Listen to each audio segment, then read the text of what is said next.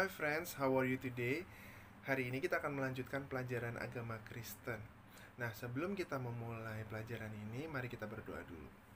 Tuhan Yesus, kami mengucap syukur untuk hari ini dan kami mau memulai pelajaran agama Kristen dan biarlah setiap apa pun yang kami pelajari kami dapat menerimanya dengan sebaik-baiknya. Di dalam nama Tuhan Yesus, haleluya, amin. Oke teman-teman, hari ini kita akan belajar uh, melanjutkan pelajaran di minggu kemarin dan kita akan membahas tentang tujuan Tuhan menciptakan setiap manusia. Baik Mr. Viko maupun kalian yang ada di rumah. Nah, apa sih tujuannya Tuhan menciptakan kita? Yang pertama adalah mengen untuk mengenal Sang Pencipta. Artinya untuk mengenal Tuhan secara pribadi. Nah, teman-teman, kalau di rumah kita hidup bersama dengan ayah dan ibu kita.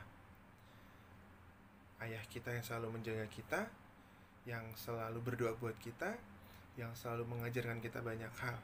Begitu juga dengan ibu yang mengandung, menjaga kita di dalam perut sampai akhirnya melahirkan kalian semua. Jadi, teman-teman, ayah dan ibu kita mengajarkan kita banyak hal hal-hal yang baik dalam kehidupan kita.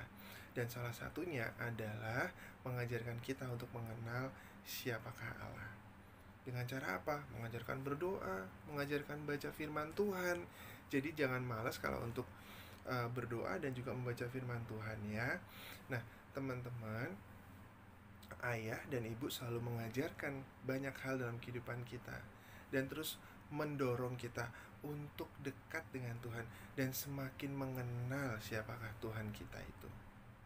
Setiap kita diciptakan agar kita mengenal Tuhan itu adalah Tuhan yang Maha Kuasa. Dan mengenal berarti dekat.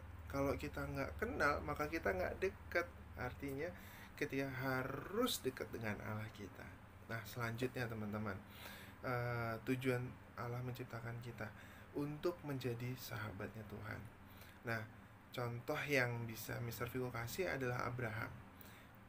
Abraham adalah orang yang selalu bicara kepada Tuhan.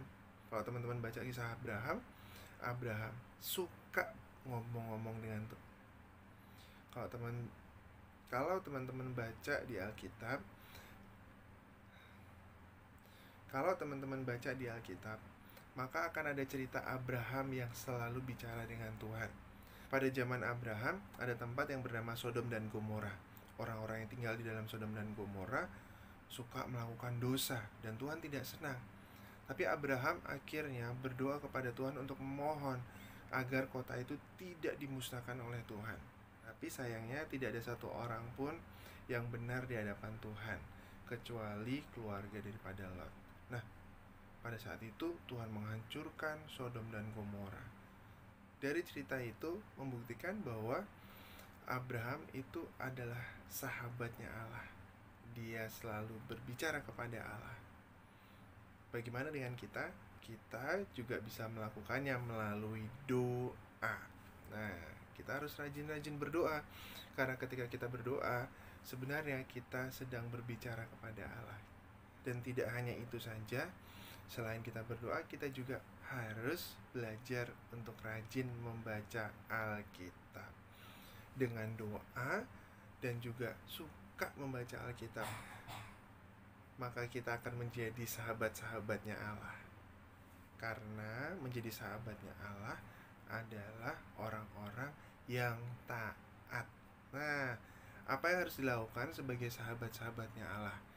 Yang pertama, kita harus mengasihi orang lain tentunya. Dan yang kedua, kita harus belajar untuk mengampuni orang lain yang bersalah kepada kita. Dan selanjutnya, kita berani untuk meminta maaf. Jangan takut untuk meminta maaf kalau kalian lakukan kesalahan ya. Dan selanjutnya, kita juga suka mendoakan orang lain. Lalu, kita juga orang yang murah hati. Dan selanjutnya, orang yang dan selanjutnya menghormati orang tuamu. Dan yang terakhir, kita menghargai teman-teman kita.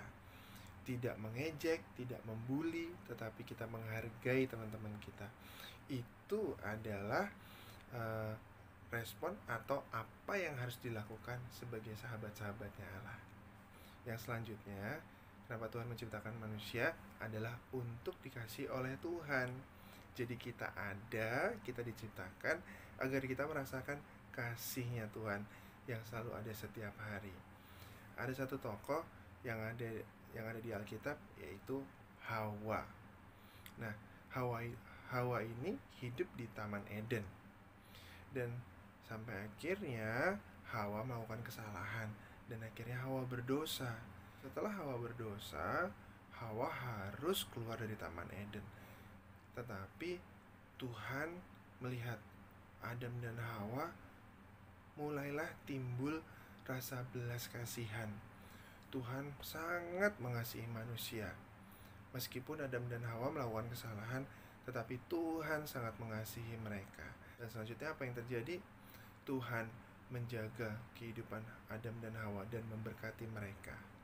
Hmm, kenapa? Karena Tuhan sangat mengasihi kita. Kita lahir sebagai manusia yang berdosa. Ketika kita bertumbuh, kadang kita juga berbuat dosa karena kita tidak taat kepada firman Tuhan. Tetapi di dalam Yohanes 3 ayat 16, nah di sini kalian harus baca ya. Yohanes 3 ayat 16. Karena Allah itu sudah mengasihi kita dulu sehingga dia memberikan anak yang tunggal yaitu siapa? Tuhan Yesus untuk menyelamatkan kita. Jadi kasih Tuhan itu besar sekali dalam kehidupan kita.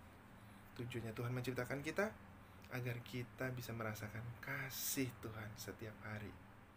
Dan yang terakhir adalah untuk memuliakan Tuhan. Teman-teman masih ingat cerita tentang Hana yang berdoa untuk mendapatkan seorang anak.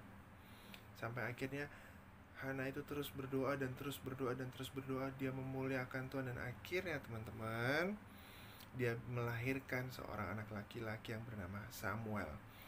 Nah, di cerita yang lain yaitu kelahiran Tuhan Yesus itu menjadi cerita yang sangat menyenangkan dan menjadi berita yang sukacita bagi banyak orang. Kelahiran kita juga menjadi sukacita bagi keluarga kita. Karena ketika kita lahir, kita pastinya dinanti-nantikan oleh ayah dan ibu kita. Kenapa? Karena ayah dan ibu kita selalu mengasihi kita dan selalu menjaga kita. Jadi sama halnya kepada Tuhan. Saya harus memuliakan Tuhan karena Tuhan juga sudah menjaga saya dan juga menjaga kalian yang ada di rumah memberkati Mr. Viko dan juga memberkati kalian yang ada di rumah jadi kita harus memuliakan Tuhan karena Tuhan sudah mengasihi kita dengan luar biasa jadi teman-teman ayo belajar untuk memuliakan Tuhan nah Mr. Viko berharap kita sudah mengerti kenapa kita diciptakan di dunia ini oke kita akan tutup pelajaran ini dengan berdoa. Mari kita berdoa. Terima kasih Tuhan untuk pelajaran hari ini. Kami mengucap syukur biarlah pelajaran yang kami sudah pelajari hari ini dapat diterima dengan baik. Kami mengucap syukur di dalam nama Yesus. Haleluya. Amin. Oke teman-teman. Goodbye and I'll see you next week.